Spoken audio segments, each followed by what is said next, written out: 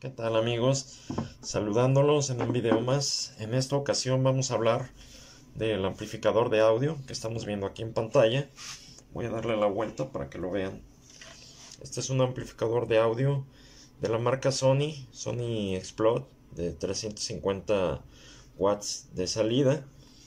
Eh,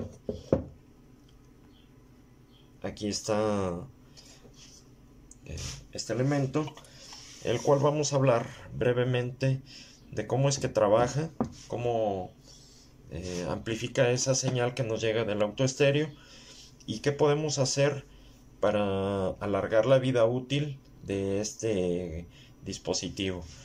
Eh, primeramente explicarles que pues el amplificador de audio, eh, como lo conocemos nosotros, los amplis comúnmente llamados, eh, ¿qué es lo que hacen? Pues básicamente amplifican una señal, la magnifican y la mandan a nuestros altavoces. Esto lo hacen mediante las salidas de audio, las que comúnmente llamamos como salidas, que es lo más común que se dañe en este tipo de aparatos eh, por el gran calentamiento que sufren eh, las salidas. Eh, comúnmente las personas eh, determinamos que las salidas pues vienen a ser o estas o las que nos marca como salidas de bocina como estas. Aquí van conectados los cables que van a los parlantes y aquí viene a inyectarse eh, la señal por medio de los cables de los RCAs esta señal se le inyecta a este amplificador por medio de los cables. Entra aquí la señal. Va a pasar por todo este circuito. Eh, varios elementos capacitivos que estamos viendo aquí. Capacitores electrolíticos pequeños. Eh, algún optocoplador. Una bobina de tipo toroidal. Y filtros más grandes. Que a su vez van a mandar esa señal de audio la van a mandar a estos transistores de potencia, transistores de salida de audio, que en conjunto con todos estos elementos que les comento, nos va a dar la salida magnificada, amplificada de audio, que va a ir hacia nuestros parlantes que estamos viendo aquí. La salida speaker out, salida de bocinas, y pues esa es la forma como se amplifica el audio. Eh, la salida entonces eh, hay personas que tienen la idea de que pues nuestra salida es o esto o es esto y si vemos internamente el cascarón pues nos damos cuenta de que pues no esto es solamente un arnés son arneses y realmente lo que son las salidas son este conjunto de componentes electrónicos que como les comento son eh, condensadores, son eh, bobinas, son eh, los transistores, los primordiales, que en conjunto van a ser la salida de audio.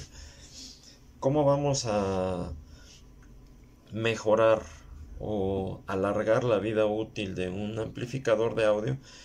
Es lo que les voy a explicar básicamente estos componentes que estamos viendo aquí.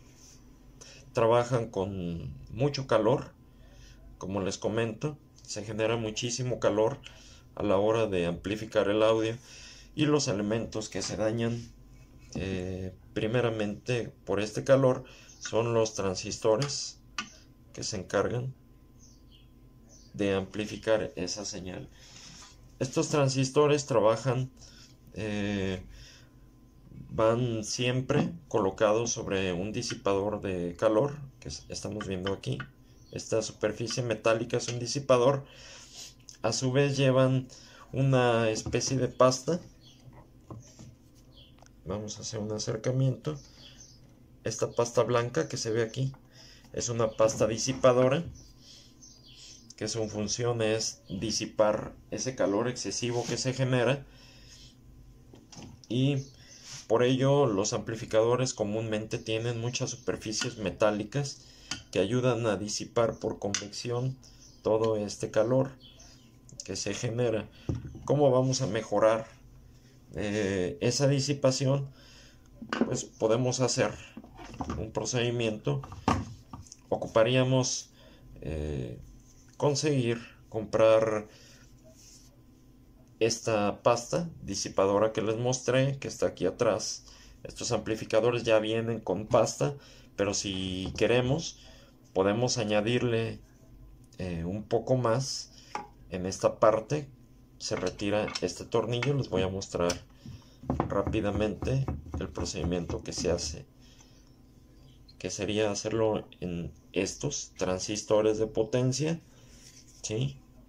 MOSFET o transistores de salida, pero aplica de igual forma para todos estos. Es, vamos a retirar el tornillo que lo sujeta al disipador y vamos a levantar con cuidado el transistor un poco. Vamos a levantarlo. No hay que forzarlo ya estando levantado vamos a, a colocar un poco de esta pasta que les comento. Hay de varias marcas esta es una de ellas. Y esa pasta que estamos tomando la vamos a colocar en la parte trasera en la espalda se podría decir de nuestro transistor no hay que poner en exceso, solamente que cubra perfectamente toda la parte trasera del transistor. Habiendo hecho esto, vamos nuevamente con cuidado, sin forzarlo, a regresar a su lugar. Vamos a poner su tornillo. Y muy importante, hay que volverlo a fijar al disipador, a la estructura metálica a la que está sujeto. Y esto lo vamos a hacer con... Eh, vamos a hacerlo nuevamente con este que está aquí al lado. Retiramos el tornillo. Levantamos con cuidado, de manera lenta un poco, nada más en cuanto alcance a entrar nuestro desarmador, algo que utilicemos que nos permita ingresar la pasta. Aquí estamos poniendo.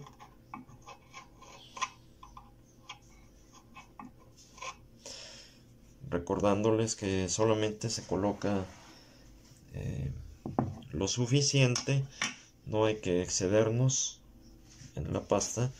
Habiendo hecho esto, bajamos otra vez a su posición normal sin forzarlo y colocamos el tornillo asegurándonos de que esté bien fijo a la superficie bueno para no alargar tanto este video esto lo vamos a hacer con los transistores eh, que tenemos aquí de potencia, los transistores MOSFET y de salida, que los estamos viendo aquí en pantalla, son estos. ¿Cómo vamos a saber que son estos transistores? Es muy fácil. Vamos a tomar el número que viene encima del transistor, como en este caso es el C5100 y el A1908 y ese número tal cual lo vamos a ingresar directamente en el buscador en Google o en el buscador que utilicemos en nuestro teléfono o nuestra computadora. Y al ingresarlo aquí yo lo ingresé estamos viendo que el C5100 aquí menciona que es un amplificador de poder eh, Car Power Amplifier Circuit que se utiliza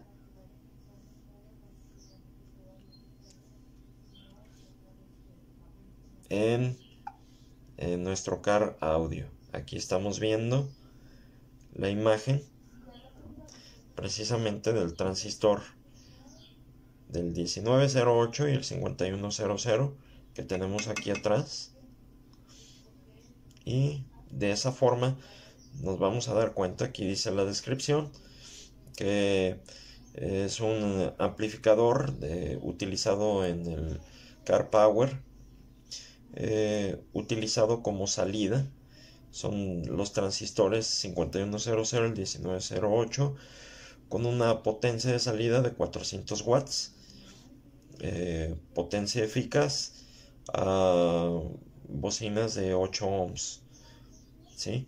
Esto es lo que nos describe en el buscador. De igual manera vamos a ver los otros que están aquí a un lado estos pequeñitos que están acá. Y bueno la matrícula de esos o el número que viene marcado arriba es el FB550 de igual manera nos dice que es un transistor MOSFET utilizado para amplificar o conmutar señales electrónicas.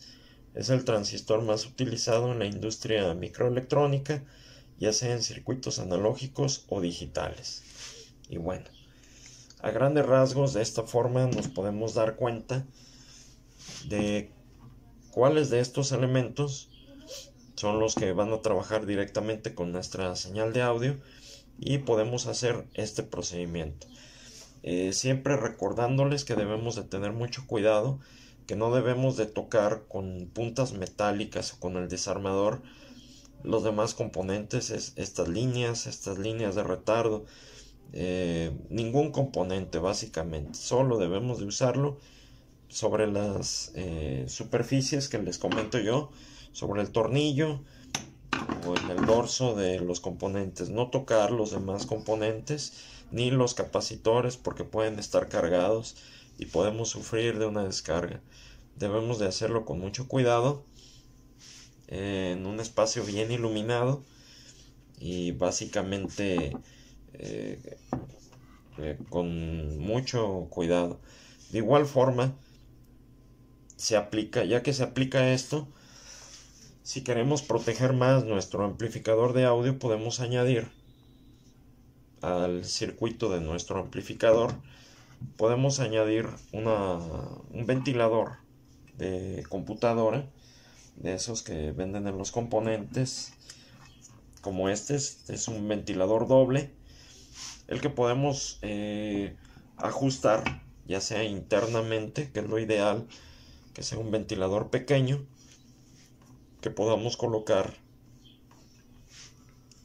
por dentro del dispositivo de, este, de nuestro amplificador, podemos colocarlo aquí, el ventilador, fijarlo, que esté eh, aventando el aire hacia nuestros transistores de salida. O de igual manera si van a colocar el amplificador eh, como a veces se hace que se pone sobre eh, el eh, perdón el asiento trasero de nuestro coche pues podemos ponerlo de esta manera en este caso yo voy a montar un ventilador doble ¿sí? podemos eh, ajustarlo teniendo cuidado de que las aspas de nuestros ventiladores estas no vayan a estar haciendo contacto con ninguna superficie del amplificador hay que tener mucho cuidado con esto que no vayan a estar pegando y habiendo hecho esto podemos fijarlo. En este caso, yo lo voy a fijar aquí. Aquí lo voy a dejar fijo. Y posteriormente voy a poner la tapa trasera que lleva el amplificador de esta manera quedaría. Entonces voy a hacer una pausa. Lo único que vamos a hacer vamos a sacar la línea que viene de los ventiladores el positivo y el negativo y este positivo negativo se va a conectar independientemente a un fusible de nuestro coche o eh, lo ideal sería conectarlo a la línea de, de salida de que va a dar la, la corriente, el positivo a nuestro auto estéreo. Esta línea la podemos conectar directamente ahí para que cuando se energice el estéreo quede energizado también los ventiladores. Eh, es una corriente de 12 volts como viene aquí. Entonces podemos usar perfectamente bien esa corriente que va hacia nuestro autoestéreo, al positivo de nuestro autoestéreo y al negativo. De igual manera, el autoestéreo lo podemos conectar con estos cables. O si queremos regularlo mediante un interruptor, pues como les digo, podemos conectarlo a un fusible que no afecte eh, la operación de nuestro coche, de algún elemento, puede ser al, fusible del claxon, al fusible del encendedor de cigarros y podemos ponerle un, switch de cola de rata. Déjenme muestro. En este caso aquí está. Podemos ponerlo conectarlo siempre utilizando un fusible. En este caso aquí puse el fusible. Aquí va el positivo la línea positiva. Puse un fusible. No se ve porque está cubierto con aislante pero puse un fusible como este de 20 amperes de tipo automotriz. Y siguiendo después del fusible va el cable. Y lo voy a fijar con este pequeño interruptor para que cuando yo quiera activar los ventiladores va a quedar eh, eh, encendido. Y eh, esta orilla va conectada al fusible que como les comento puede ser el, el del encendedor de cigarros, el, eh, puede ser el del claxon, en fin, debemos de sacar el, manual de nuestro coche y ver qué fusible no afecta al desempeño. Esto al positivo y la línea negativa pues puede ser al negativo de nuestro de la salida que va al autoestéreo o el negativo del de otro dispositivo que esté trabajando con los 12 volts negativo y positivo nada más. Esto no tiene gran ciencia. Entonces vamos a hacer una pausa. Para montar este ventilador lo vamos a poner aquí ayudándonos de un poco de un adhesivo de contacto y vamos a poner el plafón que va sobre esto. Pero antes voy a ponerle el procedimiento de la pasta disipadora que vieron antes de cerrarlo. Y para esto voy a hacer una pausa y continuamos para mostrarles cómo va a quedar por último. Aquí estamos eh, continuamos poniendo la pasta disipadora de calor usando el procedimiento como les comentaba Si se les dificulta ponerlo en la parte trasera del transistor, pueden ponerlo sobre el disipador directamente, como se les haga más fácil. Eh, ya los amplificadores pues ya traen su pasta disipadora, pero la mayoría de las veces viene muy escasa, le ponen muy poca o con el mismo calentamiento eh, esta pasta va perdiendo sus propiedades disipadoras se va haciendo dura. Entonces con este procedimiento garantizamos el óptimo resultado de la pasta. No debemos olvidarnos de al poner la pasta, de fijar nuestros transistores con el tornillo.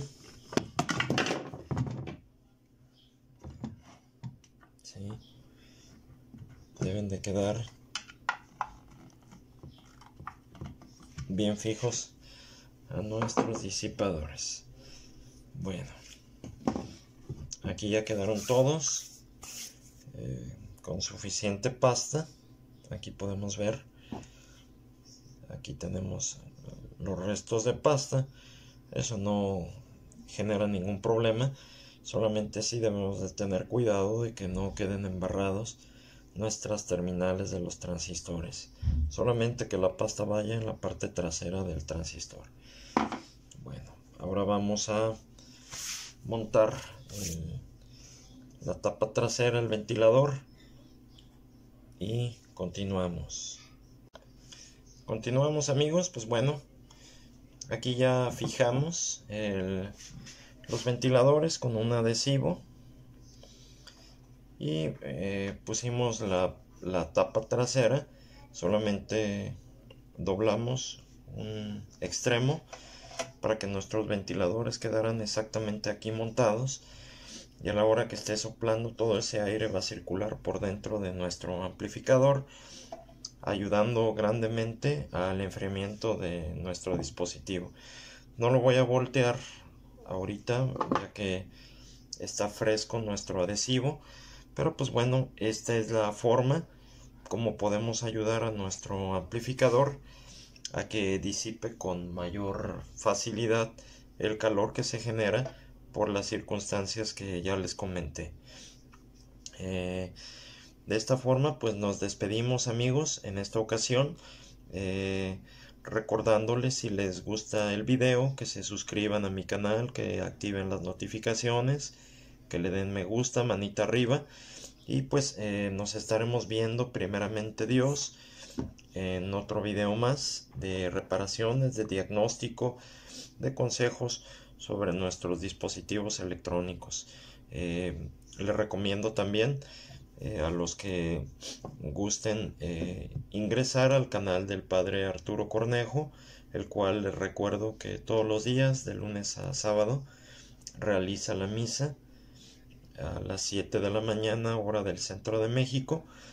Entonces, eh, todos los días por ahí transmite la misa en su canal de YouTube y de igual manera pues tiene muchos videos de formación para los que somos católicos y pues eh, queremos estar bien eh, informados que nos preocupamos por la formación de nuestra eh, religión, ¿verdad? Pues bueno, mis amigos, Dios les bendiga, nos vemos en un video más. Muchas gracias.